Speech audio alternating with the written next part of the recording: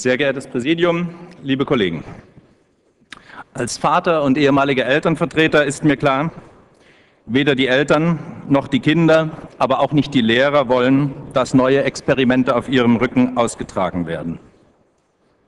Und der Schulfrieden ist vor dem Hintergrund der ständigen Kaputtreformiererei ein Wert an sich. Aber der Schulfrieden ist mehr als in Gefahr. Er ist im Grunde genommen bereits aufgekündigt. Symptomatisch ist dabei das Aufbegehren der Leiter der Stadtteilschulen, die nun die Einheitsschule propagieren und damit den Schulsenator desavouieren. Der Hilferuf der Rektoren zerfällt dabei in Analyse und Therapievorschlag. An der Analyse ist einiges dran. Und es ist eine Ohrfeige für die rot-grüne wie auch für die vorangegangene schwarz-grüne Schulpolitik. Funktionierende Realschulen wie Hauptschulen wurden von Schwarz-Grün abgeschafft. Die dort gut aufgehobenen Schüler mit ohnehin schon hoher Quote an Migrationshintergrund sollen nun auch noch mit Flüchtlingen und Förderschülern in einer Klasse sitzen. Dass das die Lehrer und Schüler überfordert, ist klar, aber das wollen sie aus ideologischen Gründen nicht sehen. Dass die Eltern dieser Kinder darauf so reagieren, wie sie reagieren, nämlich diese an den Gymnasien anzumelden, ist ebenso klar wie verständlich. Dass den Schulleitern dazu nun nur einfällt, wenn es schon nicht klappt, dann eben für alle, folgt dem klassisch linken Grundsatz, Sozialismus ist, wenn es allen gleich schlecht geht. Das System Stadtteilschule wurde überhastet nach der Niederlage bei der Primarschule politisch durchgezogen. Aus kleinen, differenziert auf die Schülerschaft des Einzugsgebiets ausgerichteten traditionsreichen Schulen, wo häufig auch schon Eltern und Großeltern waren, wurden häufig Mammutsysteme. Die Folgen? Der Verwaltungsaufwand ist extrem. Schulgebäude stehen teils leer. Andere Schulen brauchen riesige Mengen an Containern. Es gibt keine klaren Leistungsvorgaben und Lehrpläne. So fragwürdig ging es los mit der Hamburger Gesamtschule. Dann die Inklusion.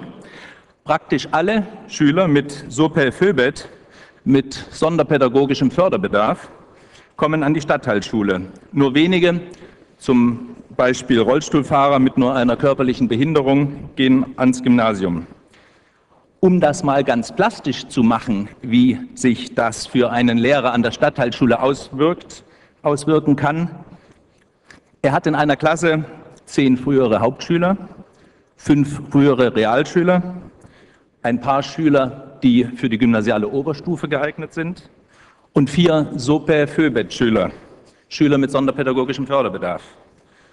In folgender Bandbreite. Da ist zum Beispiel ein Emosotz, der leider aus ungeklärter Ursache regelmäßig ausrastet und mit Stühlen wirft. Einer mit Lernproblemen, der für eine Rechenaufgabe im einstelligen Zahlenraum Finger und Klötzchen benötigt. Einer mit körperlich-motorischen Problemen, der gern das Heft aus der Tasche holen würde und etwas schreiben würde, diese Bewegungsabläufe aber ohne fremde Hilfe nicht koordinieren kann. Und dann kann noch Autismus dazukommen, der in sich zurückgezogen ist, wobei unklar ist für den Lehrer, ob in ihm wirklich etwas passiert, der allerdings teilweise zu unvorhersehbarem Handeln neigt. Im Raum hält sich neben dem Lehrer noch eine Kraft ohne pädagogische Qualifikation auf, als stundenweise Betreuung für Emosots daneben stundenweise Sonderpädagogen und Sozialarbeiter. Die Krankheitsquote der Lehrer ist extrem, da die Belastungen kaum zu ertragen sind. Und was bedeutet das für die Leistungen und die Schüler? Die Hauptschüler, die bei enger disziplinierter Führung sehr wohl auf ein hohes Niveau gebracht werden können, sind überfordert, schalten ab und randalieren. Die Realschüler müssen den Hauptschülern ständig helfen, damit wenigstens etwas gelernt wird. Das wird dann euphemistisch Gruppenarbeit oder integratives Lernen genannt. Diejenigen, die auf die Oberschule wollen, scheitern häufig, weil sie keine Grundlagen haben. Und die Sopel-Föbet-Schüler sind unglücklich, weil sie die Außenseiter sind. Das sind die Erfolge ideologisch geprägter Schulpolitik, die unter dem Schlagwort Vielfalt alles in einen Topf wirft. Dazu kommt dann noch die Eingliederung von unkontrollierter Zuwanderung, die auch fast ausschließlich in die Stadtteilschulen erfolgt. Deutsche Eltern wie auch die Eltern von früher zugewanderten Migranten versuchen mit allen Mitteln, ihre Kinder aufs Gymnasium zu bringen, da gerade die früheren Einwanderer wissen, welche Personenkreise häufig gekommen sind. Davor sind sie schon einmal weggezogen.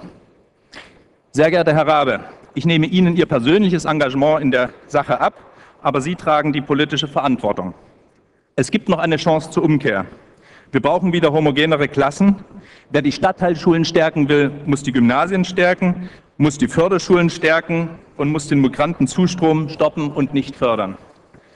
Wer das alles nicht will, kann nicht erwarten, dass die Stadtteilschulen von den Eltern angenommen werden. Die Verantwortung für diese Misere tragen Schwarz, Rot und Grün.